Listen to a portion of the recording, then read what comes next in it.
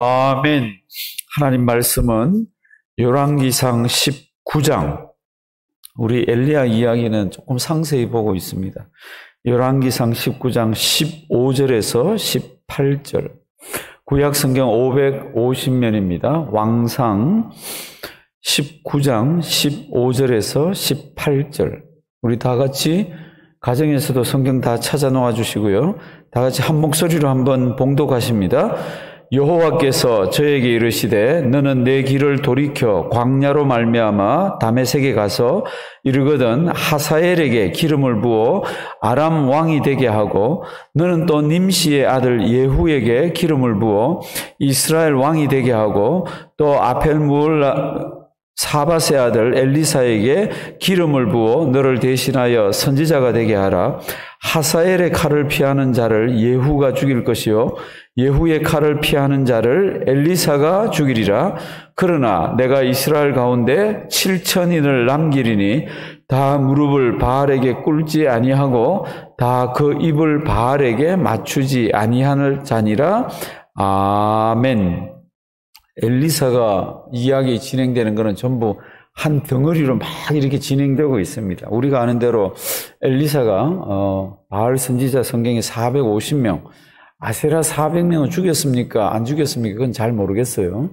일단 수백 명은 죽였습니다. 바알 선지자 450명은 죽이고 어, 이세벨이 자기를 죽이려고 그래서 도망을 가잖아요. 이제 도망을 가다가 어디로 갑니까? 이 북이스라엘이 저 위쪽인데 남쪽 유다의 끝에까지 갑니다. 부엘세바까지. 그리고는 부엘세바에서 자기 종을 거기에 남겨놓고 광야로 하루길을 들어가서 굴 있는 데로 들어갔습니다. 뭐 성경에 보면 일단은 로뎀나무 아래 누웠습니다. 로뎀나무 아래 너무너무 지쳐가지고 이제 이렇게 이제 진이 빠져서 누워있을 때 천사가 나타나고 하는 성경이 있는데 우리 5절을 한번 보십니다. 19장 5절. 19장 5절. 오늘 말씀을 보시려면 자꾸 앞에 것들이 연결이 되어져야 성경 말씀이 이렇게 오늘 것들이 다시 살아납니다. 5절 말씀을 보면은 이제 4절에 스스로 로뎀나무 광야로 들어갔고 하나님 아버지 앞에 하나님 저 죽여주세요. 이제 저 이제 사명을 다한 것 같습니다. 그때 5절 로뎀나무 아래 누워 어떻게 해요? 자더니 누가 나타납니까? 천사가. 그리고는 이 엘리야를 어루만져 주십니다. 그리고는 머리맡에 뭐가 있습니까? 숯불에 구운 떡 그리고 한 병 물 먹고 마시고 또 몸이 고내서 또 잠을 잡니다. 7절 여호와의 사자가 뭐라고요? 또다시 와서 어루만지며 이르되 이제 일어나서 먹어라. 내가 길을 가야 되는데 이제 이거 먹지 않고 그냥 움직이면은 지친다. 그 길을 다 못 간다. 이렇게 해서 8절 이에 일어나 먹고 마시고 그 식물에 모여 힘을 의지하여 뭐 그냥 금식해서 그냥 달릴 수 있으면 좋은데 하나님이 또 이번에는 그렇게 하시질 않더라고. 어, 떡을 먹고 그 다음에 물을 마시고 그래서 그 식물의 힘을 의지하여 40주 40야를 40일 꼬박 어, 행하게 해서 어디에 갑니까? 하나님의 산 호랩산에 갔습니다. 지금부터 중요합니다. 어, 9절 엘리야가 그곳 어디에 들어갑니까? 굴에 들어갑니다. 그랬더니 여호와의 말씀이 임해서 너 어찌 여기 있느냐? 그때 엘리야가 이런 대답을 합니다. 10절 잘 한번 보십시오. 제가 대답하되 내가 망군의 하나님 여호와를 위하여 뭐예요?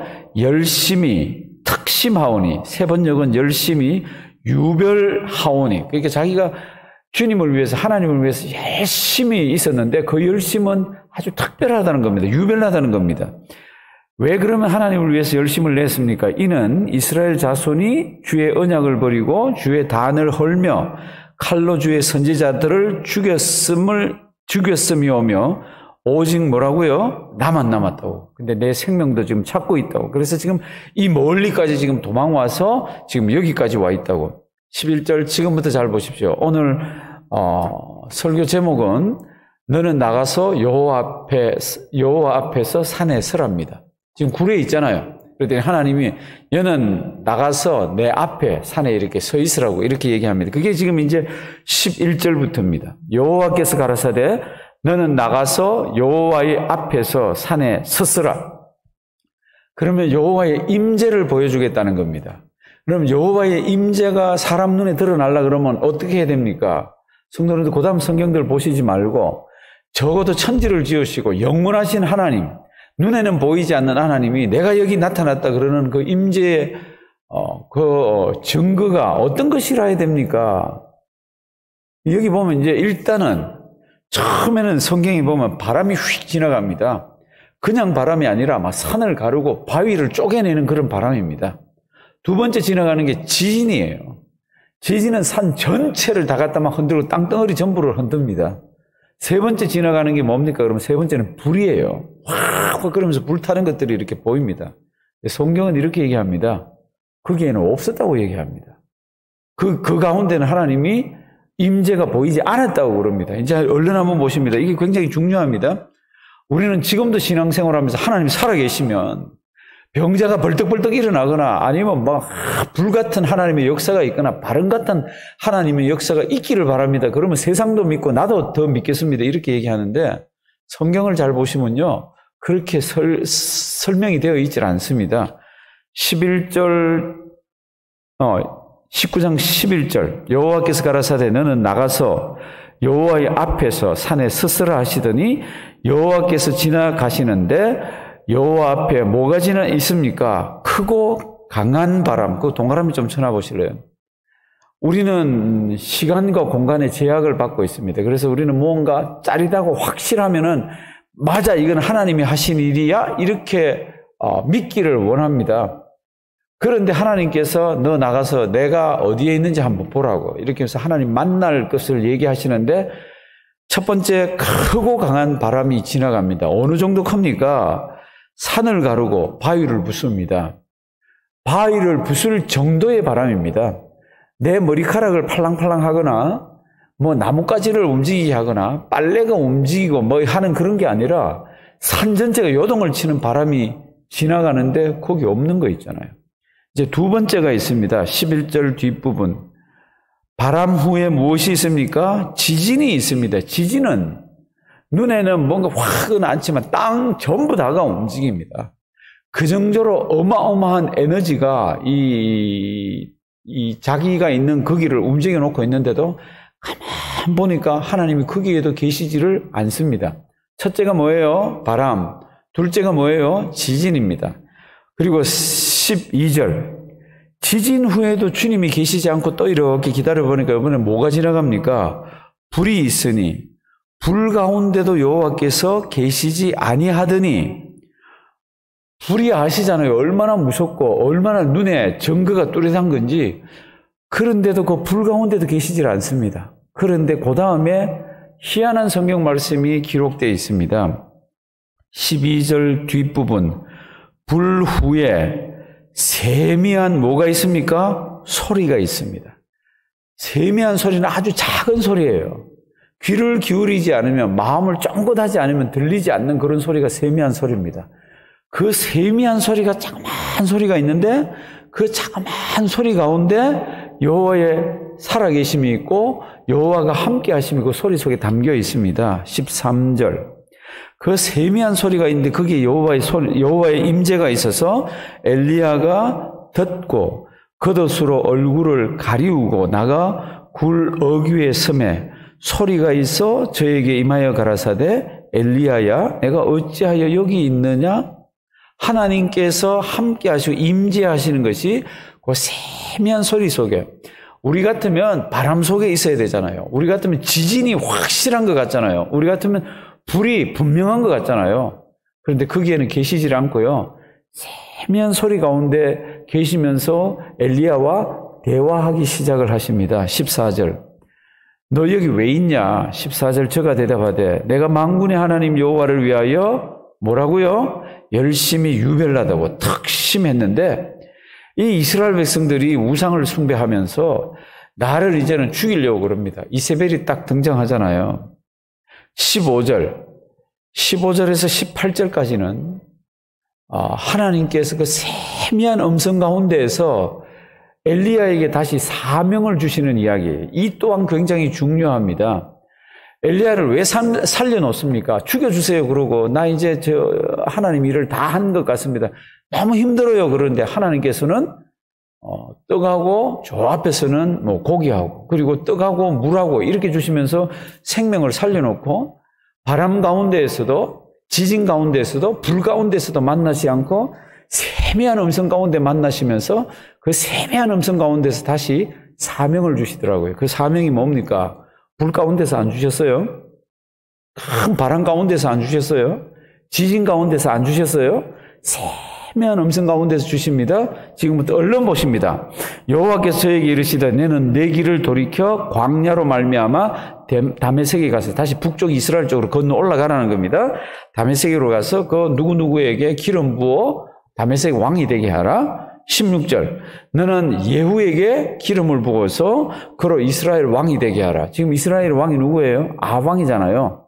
그런데 예후라는 사람에게 기름을 부어서 왕이 되게 하라 합니다. 이 예후는 어, 이, 이 아합의 자녀가 아니에요. 그러니까 이게 혁명이 일어나게 하는 거죠. 하나님이 아합을 갈아치우는 거죠. 그리고는 16절 뒷부분 엘리사에게 기름을 부어서 너 죄를 잊게 하라.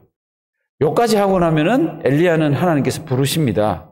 어떻게 부르시는지는 성경에 있잖아요. 그냥 하늘 죽, 죽음을 보지 않고 불수레를 타고 하늘로 이렇게 올라갑니다. 그러니까 지금 지쳐서 하나님 이제 저 하나님 일도 못 하고 아주 이제 저 고만하면 좋겠습니다. 저 이제 죽었으면 좋겠습니다. 이 정도로 진이 다 빠져 있는 엘리야에게 아주 세미한 음성으로 너 누구누 담에셋 누구 누구에게 이 기름을 부어서 왕을 세우고 북이스라엘의 예후에게 기름을 부어서 아합 왕 대신을 하게 하고 나는 엘리야 엘리사에게 기름을 부어서 너를 대신하게 하라.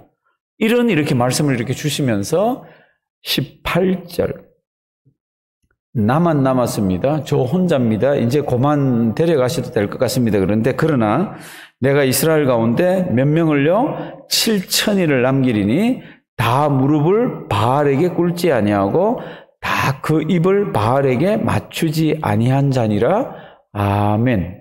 혼자 남아 있는 것 같아도 하나님은 우리 모르는 곳에서 우리가 알지 못하는 영역에서 하나님의 일들을 진행을 하십니다. 7천인을 통하여서.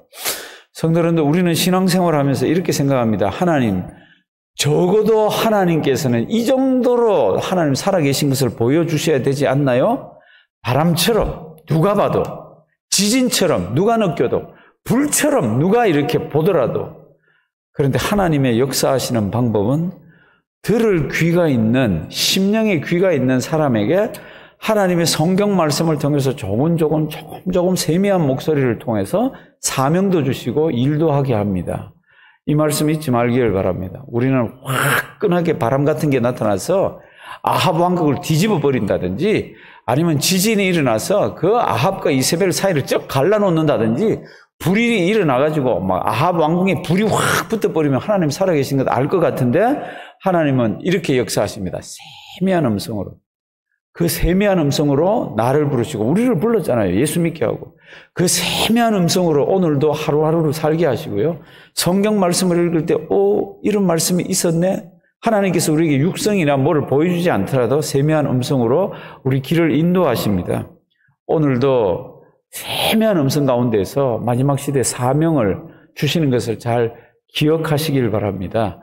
오늘도 하나님께서는 나를 붙들어서 주변에 일을 하기를 원하시는데 나에게 어떤 음성을 주십니까? 무슨 음성요? 세미한 음성. 한번 따라하십니다. 세미한 음성.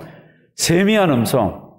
큰 음성 아니라도 괜찮습니다. 말씀이 우리에게 세미하게 주시는 말씀 깨닫고 주님 앞에 쓸 때까지 승리하는 우리가 되기를 주님의 이름으로 부탁드립니다. 살아계신 하나님, 귀한 말씀 주셔서 감사합니다.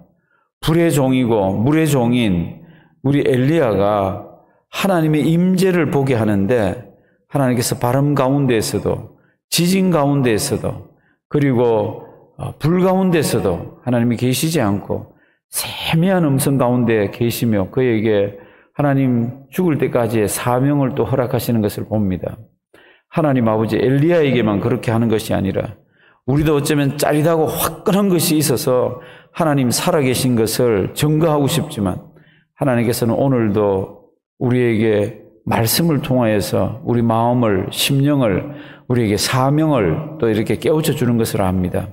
오늘도 우리가 무슨 일을 당하고 있든지 앞이 캄캄해 앞날에 무슨 또 두려움이 있든지 하나님 말씀 잘 보면서 세미한 우리에게 말씀하시는 하나님을 붙들고 승리하는 우리 되게 해 주시옵소서. 코로나가 길어져서 경제적으로도 어렵다고 합니다. 코로나가 길어져서 너무너무 답답해서 심리적으로도 어렵다고 합니다.